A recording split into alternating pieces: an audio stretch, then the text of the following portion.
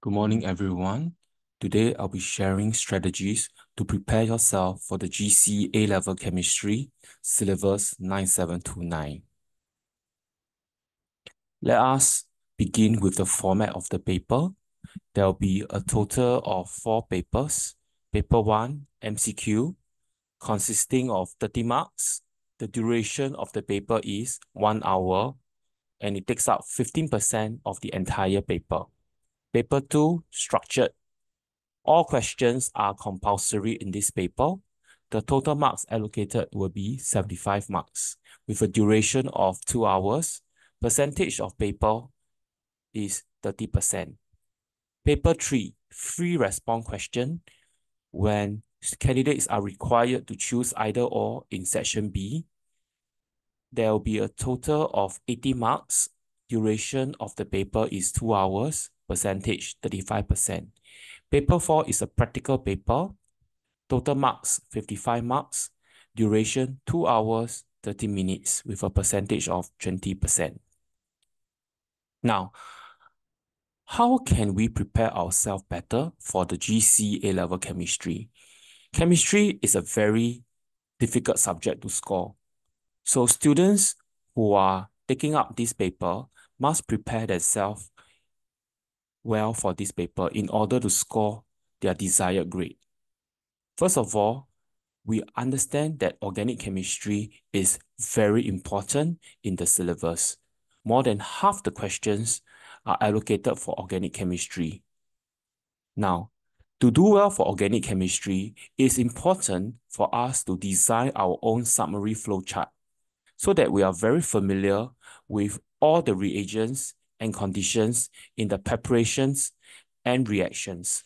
For example, alkanes, there are some reactions related to alkanes like the reduction of alkene to form alkane,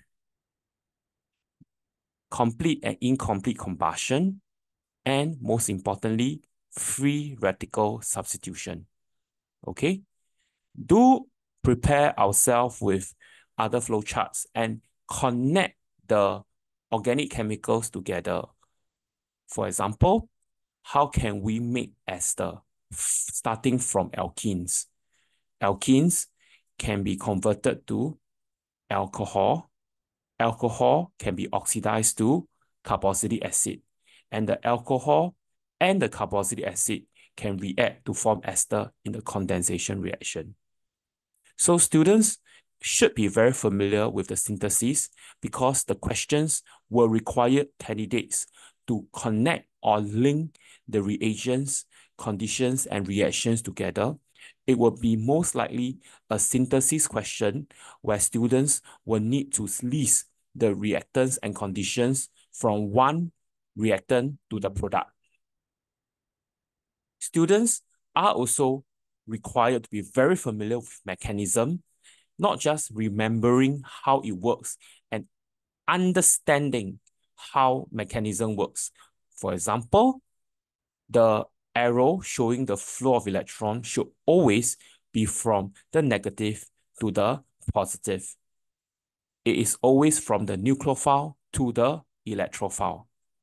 Distinguish between half arrow and full arrow. And how does resonance structure works, example? It's also very important to remember all the definitions and equations for this syllabus. This is just a snapshot of some of the work from different sources. It will be better for students to create their own list so that when they do it, it's easier for them to remember. All these will be tested in the A level. Definitions will definitely be tested and there will be quite a number of calculation questions, for example, in the topic of ionic equilibrium. So my final advice for all candidates will be practice, practice, and practice. Please be very familiar with the format of the A-level questions and give yourself time practice so that you are able to complete the paper within the given time. It can be stressful, But given time, I'm sure you will gain competence and confidence. So do try all the A-level questions from 2014 to 2023 and the prelim papers with at least 10 complete sets. Focus on big topics which award the most mark. For example, chemistry, organic chemistry, which covers more than half the entire paper. Do pay attention to nitrogen compounds, alcohol carboxylic acid especially, because they test very important concepts. For example, uh, why different types of nitrogen compounds have different basicity. They may ask you to compare between phenylamine, amine, and amide. For carboxylic acid, they may test you about how different types of carboxylic acid are acidic. Okay? Electrochemistry, to pay attention to that. Transition metals, kinetics, and periodic table. You must memorize all important equations and observations. They will be tested. So, for practical, revise all the school given practical exercises. I'm sure your school has given you sufficient practices for you to practice your practical skills and do be familiar with the different types of questions that will come out, the sources of error, the analytical thinking questions. That will be more important than doing the practical actually. Revise past year A-level and school prelim papers if you have access to them.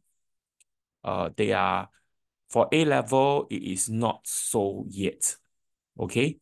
And even if they are, there are no model answer. But for the school prelim paper, they are available online for you to buy. You can focus on titration, energetics, kinetics, QA, organic planning. There'll be a total of four questions, and the planning question is embedded in one of them.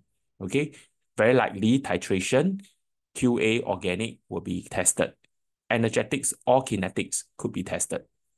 Okay, that's all for my briefing. Wish you all the best for your preparation and good luck to you.